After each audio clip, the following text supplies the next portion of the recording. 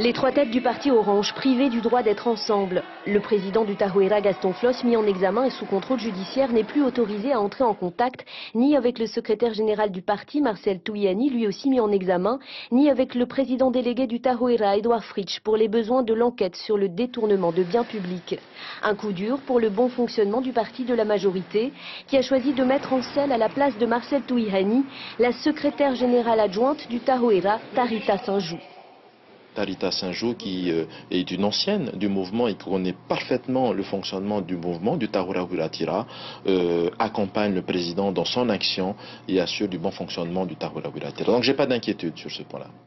Le président délégué du Tahuira ne peut donc plus, lui non plus, participer aux réunions du parti que Gaston Floss préside. Le président du pays qui tente de garder de bons rapports avec les élus orange de l'Assemblée, même s'il lui reproche son ouverture à l'opposition. Édouard Fritsch a déjà manqué deux conseils politiques et se demande s'il ne va pas devoir rendre son tablier de président délégué Orange pour mieux se consacrer à la présidence du pays. J'ai réfléchi beaucoup, mais bon, je n'ai pas dans les intentions de, euh, de proposer une démission ou quoi que ce soit.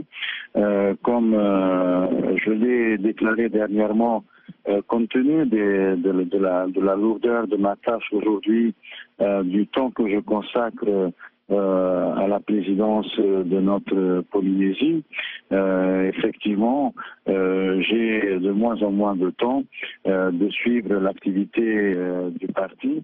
Le président du pays et celui de l'Assemblée, deux hautes figures du Tahoeira ne se voient pas non plus, mais c'est de leur place.